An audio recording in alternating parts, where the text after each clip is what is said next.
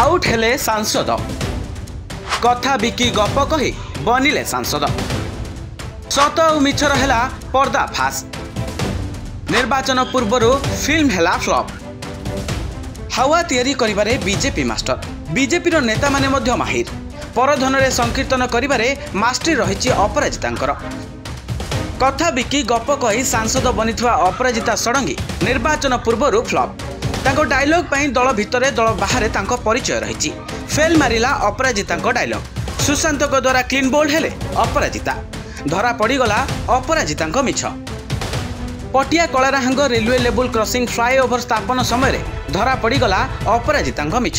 ନାଁ ନେବା ବଦଳରେ ମୁହଁ ଟାଣ କରି ଚୁପ୍ ବସିଲେ। ଦୁଇହଜାର ଏକୋଇଶରେ ବିଧାୟକ ସୁଶାନ୍ତ ରାଉତ କେନ୍ଦ୍ରମନ୍ତ୍ରୀ ପୀୟୁଷ ଗୋଏଲଙ୍କୁ ସାକ୍ଷାତ କରିବା ସହ ପତ୍ର ଲେଖିଥିଲେ। ଏଥିପାଇଁ ରାଜ୍ୟ ସରକାର ଷାଠିଏ ପ୍ରତିଶତ ଅର୍ଥ ମଧ୍ୟ ପ୍ରଦାନ କରିଥିଲେ। ଭିତ୍ତିପ୍ରସ୍ତର ସ୍ଥାପନ ହେଲା। ନାଁ ନେଲେ ସୁଶାନ୍ତ ଫେଲ୍ ମାରିଲେ Aparajita. Madam magic fail. Bureau report ଦୂରବାର୍ତ୍ତା digital live.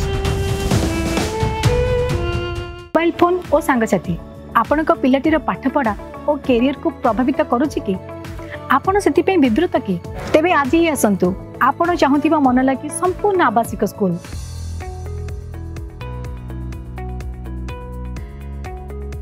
ಟಿಎಸ್ಟಿ Gurukul Gothapatna Bhuvneshwar